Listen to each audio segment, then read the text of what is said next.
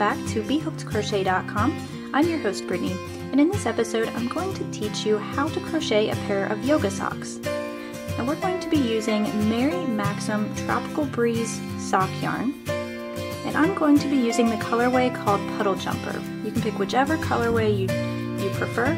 You're also going to need a size 3.25 millimeter crochet hook. Now if you don't have that particular size in your set, Find the closest one you can. If you have a 3 millimeter or a 3.5, those will also work.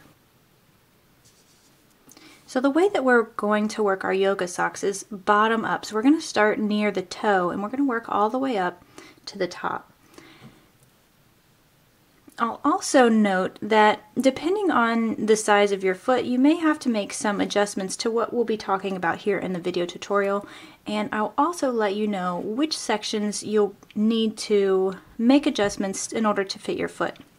Now I personally wear about a size 7 and these fit me just fine. So if you wear a size 7 shoe, I think you'll find that these will fit you just fine. If your foot is a little bigger or a little smaller, you'll just want to pay close attention to the sections where I talk about how to adjust the sizing.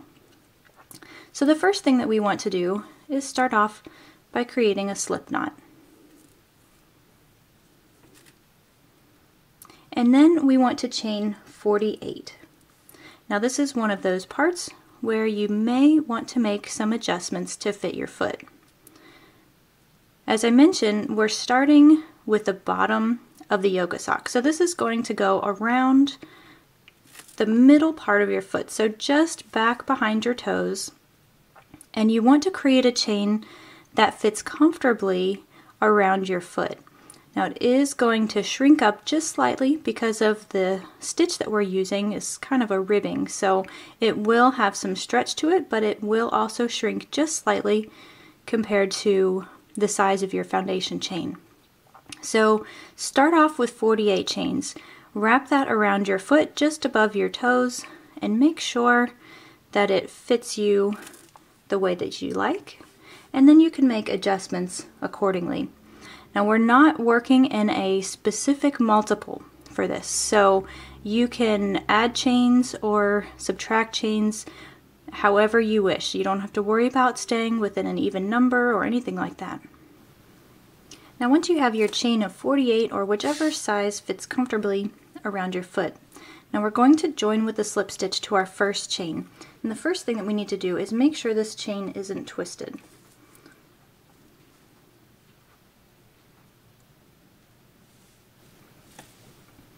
And once you have it all stretched out, it's not twisted, then you can just loop it around and insert your hook into that first chain. Then just leave that there. Pick up your working yarn and make a slip stitch. So just yarn over and pull through both of those loops. Now for our first round, what we're going to do is chain two, and we're not actually counting this as a stitch, we're just allowing it to bring us up to the proper height. We're going to be working in double crochet stitches, and we're going to be doing so in a spiral fashion. So we'll talk about what that means as we finish up this round. But for now, what we need to do is make one double crochet into every single chain.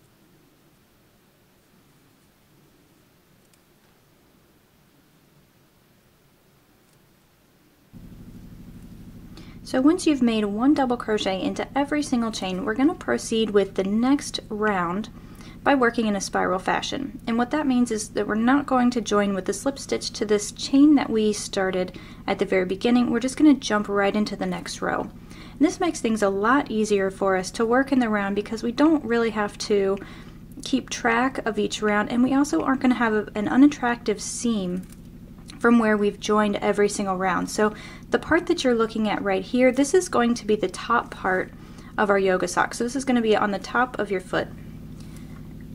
So now we're going to be working with front post double crochet stitches and I will demonstrate how to do that. We're just going to yarn over like we normally would. We're going to ignore this chain two and we just want to find that first double crochet and just stick your hook behind the post. So in one side and out the other and then work your double crochet as normal. Now this first row is going to be a lot slower and a little bit more fiddly than once you get a good foundation of your post stitches. And that's all we want to do for this round. Now before we move on any further, it's always a good idea to mark your first stitch with a stitch marker whenever you're working in a spiral. So just so you know where the start of your round actually begins. You can tell a little bit by your tail, but it's also a good idea to just use a stitch marker to help you out. So what we need to do is just finish up this round where we're doing front post double crochet stitches and we're going to do that for every single stitch.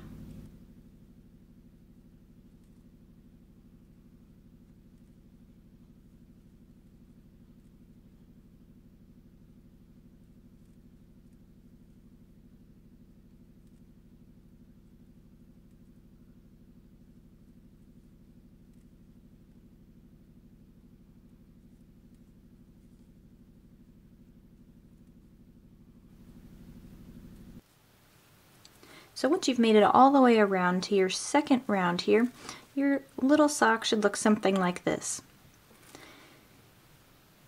The next thing that we want to do is just continue this pattern for a little bit of length of the sock. So we're basically going to be working, I said this part is going to be where your toes are.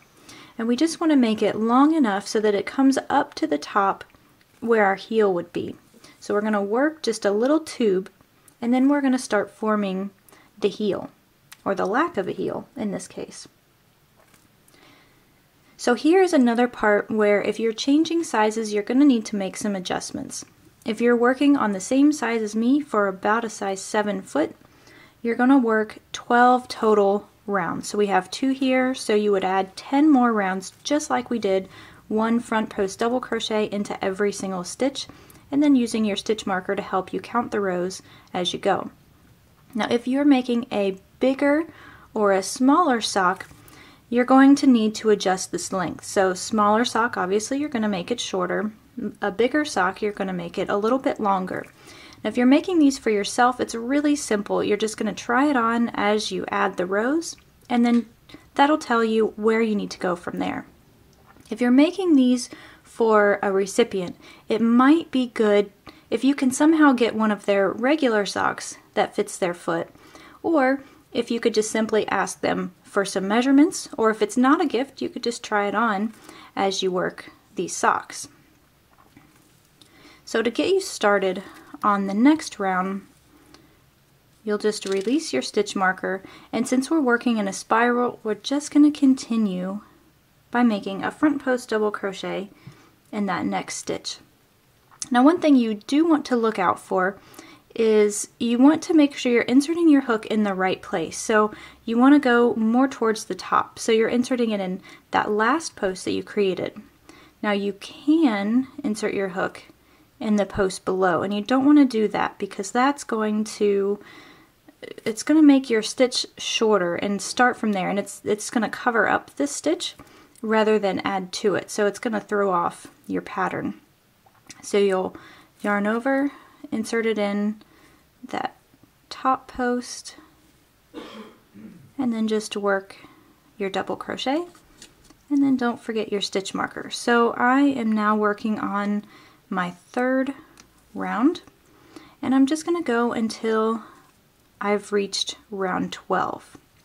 So go ahead and do that. Finish up the length of your sock based on the sizing that you're working on and come back to this video and then we'll start talking about how to work with the the slight increase that we're going to experience when you're working with that part of your foot. You know, your foot gets a little bit wider.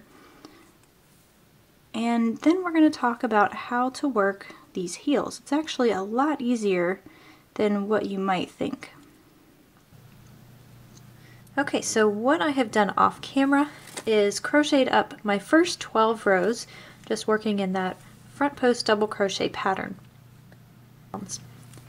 The idea is that we want this to be sort of in the middle of the foot, and that's where we're going to add a few stitches to account for just the extra circumference in that part of our foot.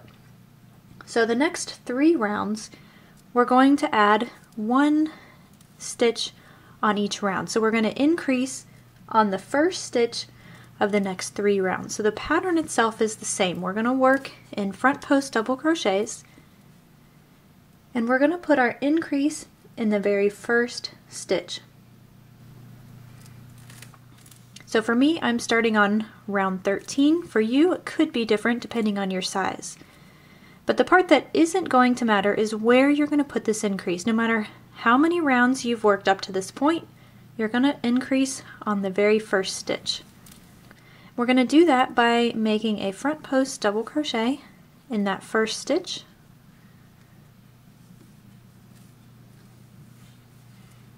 And then again in the same place.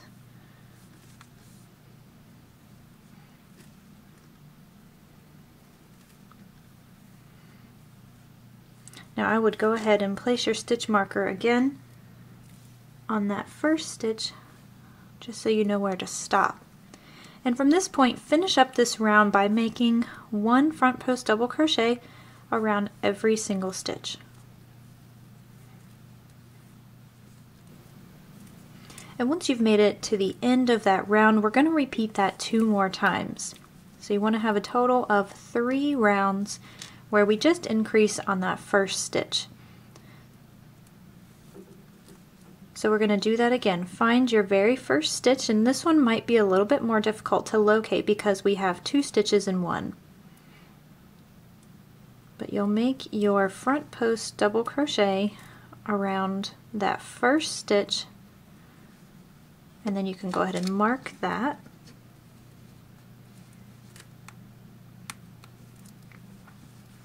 and make one more front post double crochet around that same post. So there we just have one increase. And then finish up the round by making one front post double crochet in each of the remaining stitches.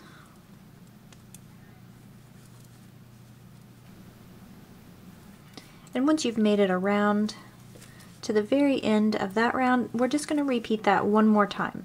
So again, we have a total of three rounds where we're increasing on the first stitch. Now you can see my increase right here. We'll just make a front post double crochet around that first stitch.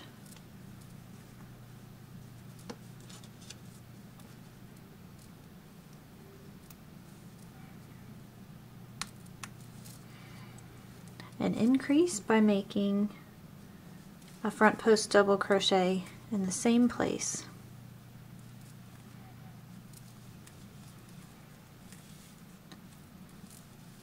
Now we'll just continue by making one front post double crochet around each stitch in the remainder of this round.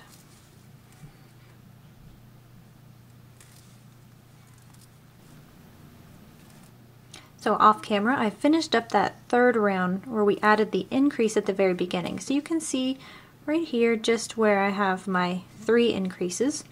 And now we're ready to move on to the next part. So we're not quite ready for the heel. We need a little bit more length at this point. And so what we want to do is crochet three more rounds where we're not increasing. So just make one front post double crochet around every single stitch for three more rounds. Okay, so this doesn't matter which size you're working on. We're going to crochet three more rounds where we are not increasing. Okay, so go ahead and finish that up, come back to the video, and then we'll be ready to start talking about the heel. So if you're following along with the exact sizing that I'm working with here, we've just finished up round 18. So we did our three rows our three rounds where we were no longer increasing and you can kind of see the shape that's taking form as a result of that. Now we're ready to begin our heel and it's it's very simple actually for us to create this because we're not forming the heel, but we're really just creating an opening for our heel to come through. That's what's cool about learning how to crochet socks by starting out with something like this, a yoga sock, because it leaves out those difficult elements where the toe and the heel. So the hard part is going to be if you're working on a different size than what I am here. The best way to figure out where to place your heel is just to lay it down flat, just like this, and then take a stitch marker and mark the two stitches that are at each corner. So I would mark this stitch right here and this stitch right here. That's going to serve as my visual cue. So I'm going to have a solid row of front post double crochet on the top side because this is the top part of the sock and then I would create a chain that's equivalent to the same number of stitches that I skipped. So from this stitch marker to this stitch marker. Now for those of you who are working right along with me, what we want to do is make a front post double crochet into the first 15 stitches. And I'm going to continue to use my stitch marker just because it makes it easy for me to know where the beginning of each round is.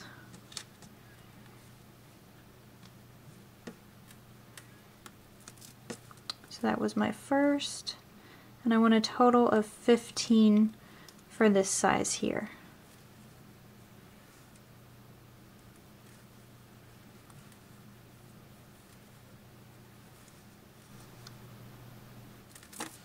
So I now have my 15 stitches, or if you're working in the different size, you would just work to where you put your stitch marker.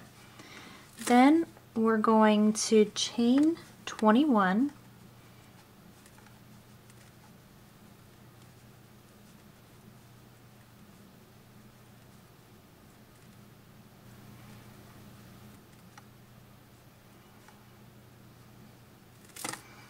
and then we're going to skip 21 stitches. Or again, if you're working on a different size, you'll skip the same number of stitches until you reach your stitch marker over on the other side. And the number of stitches you skip needs to be the same number of chains that you made.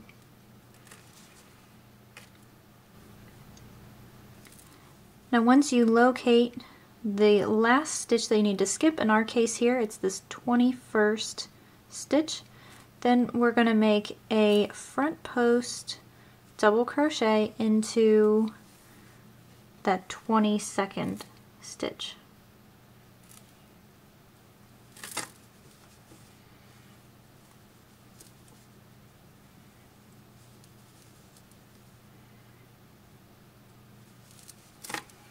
And then you'll simply finish by making a front post double crochet in each of your remaining stitches until you get to your stitch marker.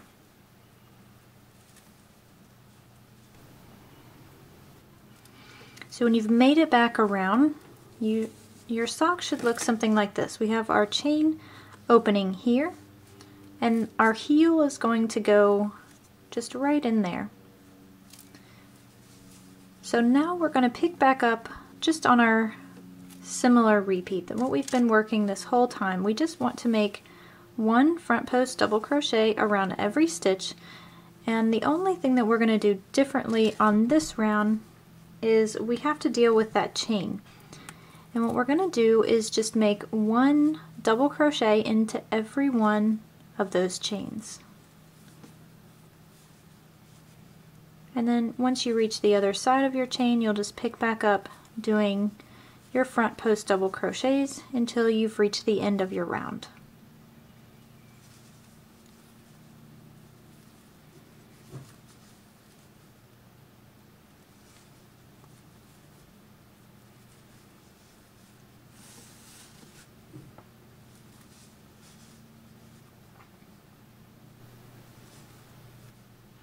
So here you can see what it looks like when we make our double crochet stitches into the chain. Now you can choose to work around the chain if you'd like. I find that in this case it's a little bit easier to work one double crochet into each chain. And you want to count, just remember how many chains you started out with. In our case here it was 21. And so I have a total of 21 double crochets. And then I want to bring it back down to our other level by making a front post double crochet just right there in that very first stitch. And we want to make this stitch a little tighter than what we normally would because we're joining the two. And if we make it really loose, you'll have a little gap there. So that really covers all of the difficult parts of this sock. Now all we need to do is just finish up the length of the foot part of the sock. So everything that's going to be on our foot about up to our ankle bone. And then we're going to change stitches, work in the woven stitch to work on the part that is the length that goes around your ankle.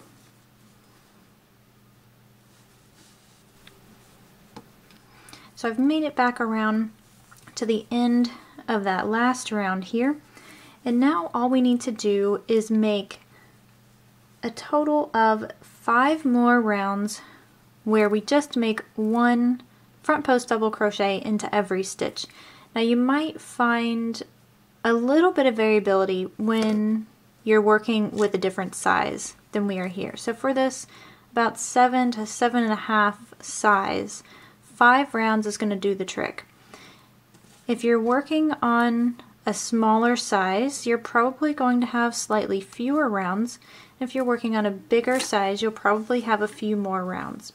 And what you want to do is just try this on as you go.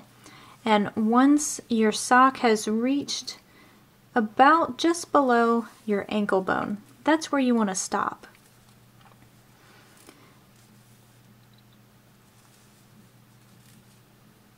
As I mentioned before, once we reach that level, we'll switch to our different stitch pattern and we'll finish up the length of our sock. Now, as you're working on some of these sizing adjustments, just know that this really is a pretty versatile pattern. We don't have to stick with any type of stitch multiple, and that's what makes this really easy to convert to a child size or an adult size that has a larger foot than I do. So it's a really good experience for you to try to sort of figure out these things on your own and just learn how these designs come together and how you can alter the patterns to meet your needs. So what I need for you to do at this point, you can go ahead and pause your video, finish crocheting the last few rounds of the foot part of your sock and then come back to the video. We'll have a look at what your sock should look like and then we'll talk about how to move on to the next section.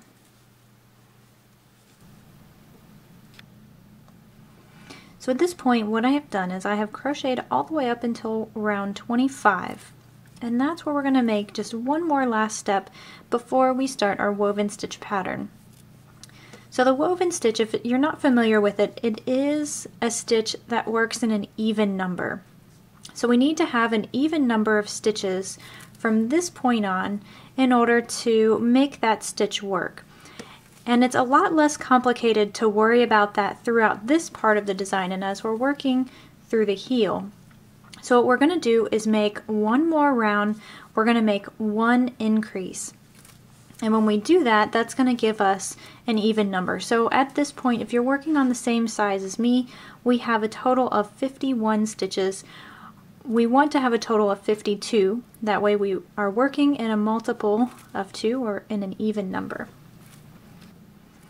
So if you're working in a different size, all you're going to do is increase in the middle stitch at the heel. So somewhere back here where it's unnoticed. So exactly where it's placed, like I said, this pattern is super versatile, so it really doesn't matter if it's in the exact same place.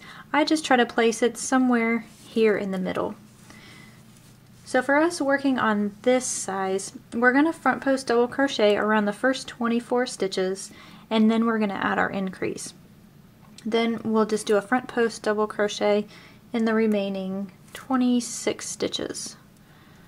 So that's what we're going to go ahead and do now.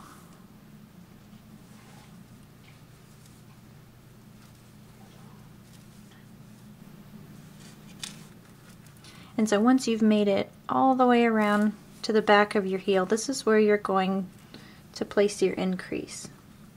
So this is in our 25th stitch.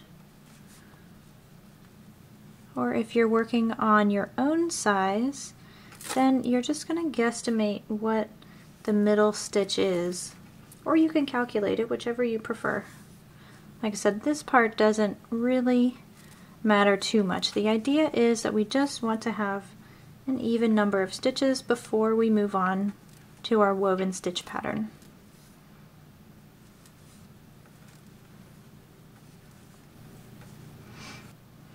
Now once you're certain you have an even number of stitches and you've confirmed that your sock does fit you, that's very important as we move on to the last section of our sock. Now we don't need our stitch marker anymore we're going to continue working in a spiral, but we're just going to be measuring this the length rather than keeping track by number of rows. So since we have been working in a spiral up until this point, we have a little bit of a height difference. And we just want to compensate for that by making a slip stitch in that next stitch. That's going to pull it down to the same level and get us ready to start our woven stitch pattern. So the woven stitch is pretty different than many of the other crochet stitches. It's a combination of two stitches in one and then we skip the next and that's the reason why we have to have a multiple of two or an even number of stitches as we work this pattern. So the first part of the woven stitch we just want to yarn over, insert our hook into the stitch so for now we're going to go into that same stitch where we made our slip stitch. Yarn over and pull up a loop and now we have three loops on our hook. And what we want to do is pull this first loop through this second loop. And I usually use my middle finger back here to help make that a little bit easier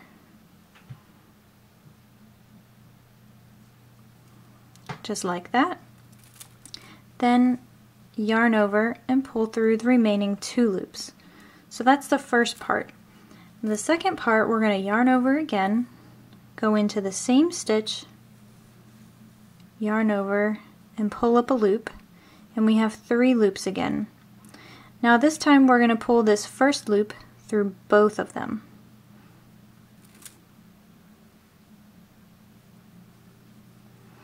And that's how you make a woven stitch. So we're going to skip the next stitch and make a woven stitch right here into the next.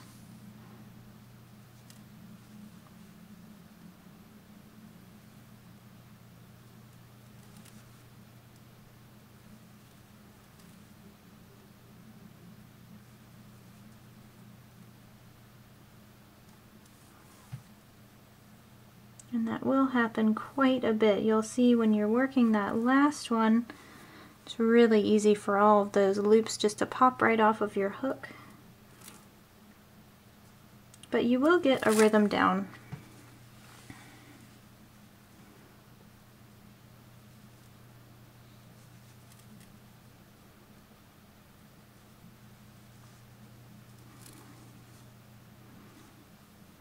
Now skip the next stitch and woven stitch into the next.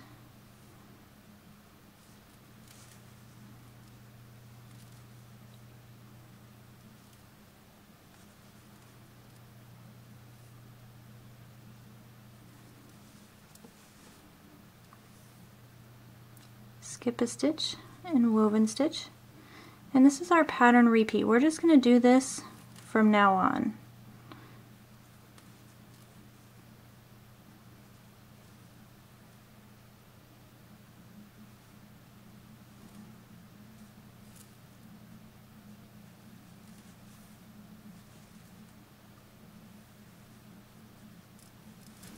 Now once you've made it all the way around, I just wanted to show you where you're going to be working your woven stitches once you have a foundation of woven stitches already. So this was my first stitch here. What you want to look out for is that big open gap. See how you can see the gap here and here? That's where we're going to be working our woven stitches from here on out. And we're still skipping one just like we were before, but it's just a little bit easier if you're looking for those gaps. You can just know right away where you're supposed to be working your stitches.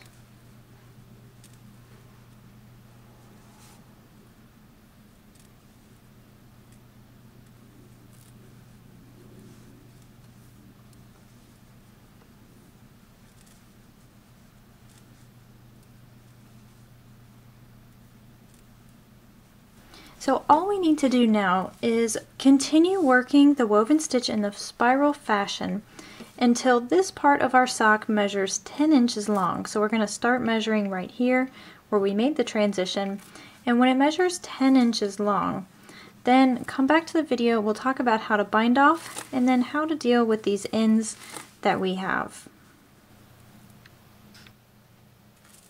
So off camera, I went ahead and crocheted the full length of this section of my yoga sock, and it measures about 10 inches from our starting point here all the way up. So once you are at that point, we just have a couple more things to finish off our yoga sock. So from here we've been working in a spiral, so we have a little bit of a height difference. And we just want to account for that by making a slip stitch in that next opening. So we're skipping a stitch here and then we'll just slip stitch right there and that's going to help pull that down and conceal that transition. So from here we can fasten off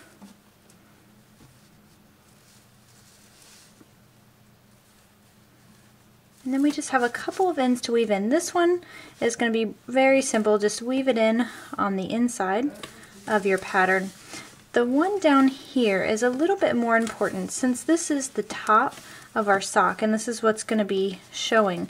We do want to account for the little transition that we have here. So we do have a little bit of a shift since we are working in a spiral. And we're going to conceal that by weaving it in. Now it's not too obvious. Yours might be a little more obvious or a little less. What we want to do is just use our tail here at the beginning to help force this little section down so that it's about the same height as the other side here.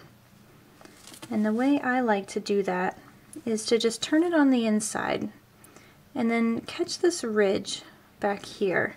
So we don't want to go directly below it, but we just want to like shift over a little bit and thread that in there and see as you pull that sort of pulls it down so it's at the same level and that's a little bit less of a transition.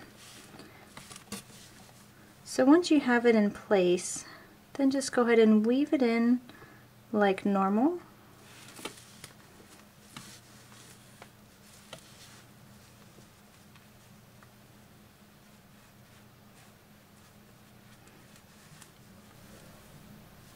Now of course all that's left to do is to weave in your end from where you fastened off up here and crochet your second yoga sock. And with that, this concludes our tutorial today. Now if you've enjoyed this pattern, or if you've enjoyed any of my other tutorials, I do ask that you push the subscribe button so you can see my other videos, and also if you wouldn't mind sharing some of these projects with your friends. If you feel like this is something they might like too, just go ahead and share it with them and that will really help things out here at B.Hooked Crochet. It'll help more people be able to find my videos and that way they can crochet something for themselves or something special for a friend. Now on behalf of BHookedCrochet.com, I'm your host Brittany. We'll see you in the next video.